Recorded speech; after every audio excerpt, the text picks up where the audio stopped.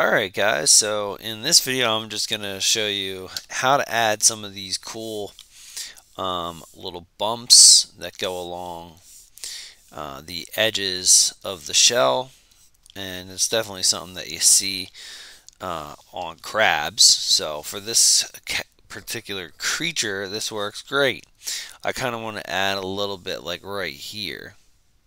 So all we need to do for that is come up to stroke and I'm just going to dock this palette over to the right so I don't have to keep coming back.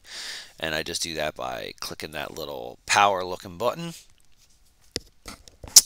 And then we're going to come down here to where it says lazy mouse. And what we're going to want to play with is the lazy step. So on our standard brush if we come down and uh, in size a little bit maybe bring up the intensity. You can see what's happening with the um, lazy step being all the way down to a value of 0.25 it's just the the spacing in between the brush is so uh, so small that you don't really see it. It just looks like one continuous line. But if we make this a bigger lazy step which is basically the spacing let's see like how it looks at a 3 it's well that's a little too uh, far apart it's kind of hard to tell what's going on. So let's just bring that down like a 2-2. There you can start to see it. Bring it down a little more, like a 1-5. And that's looking pretty cool. So let's just make our intensity a little bit bigger again. I want, yeah, I really want to be able to see it. Okay, that looks good.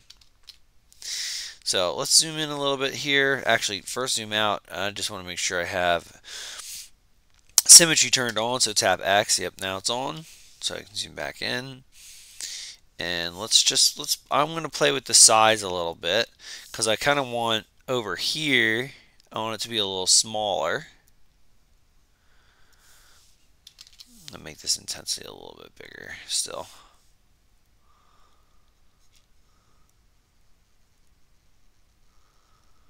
And then I'm going to bring my draw size up by 2. and bring it up again. That looks a little too big. Let's go down one.